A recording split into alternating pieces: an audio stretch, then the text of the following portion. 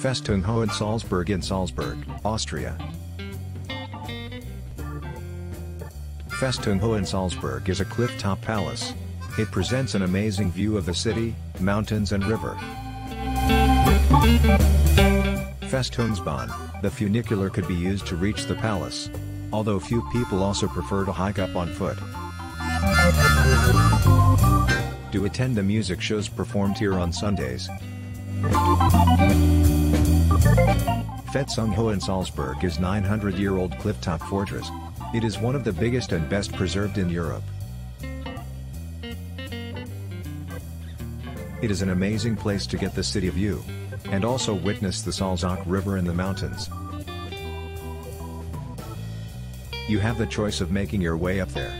On foot or riding the fortress funicular from the Festungsgasse. Highlights of the fortress include Princely Chambers, Fortress Museum, Marionette Museum, Museum of the Rainer Regiment. This fortress also serves as the venue for the famous Salzburg Fortress concerts.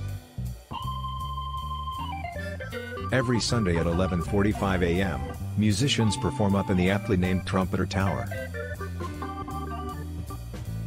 Entry ticket to Festung Hohensalzburg is adults are charged 12 euros. Children, 6 to 14 years, have to pay 7 euros.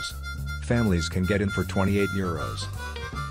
By using Salzburg card, you get one-time free admission and quick access.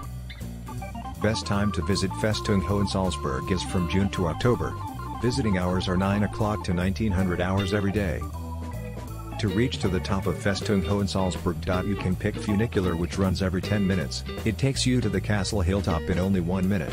It takes about 20 minutes on foot, it is your choice. Subscribe and follow Tripspell for travel stories. Visit tripspell.com to plan your next trip.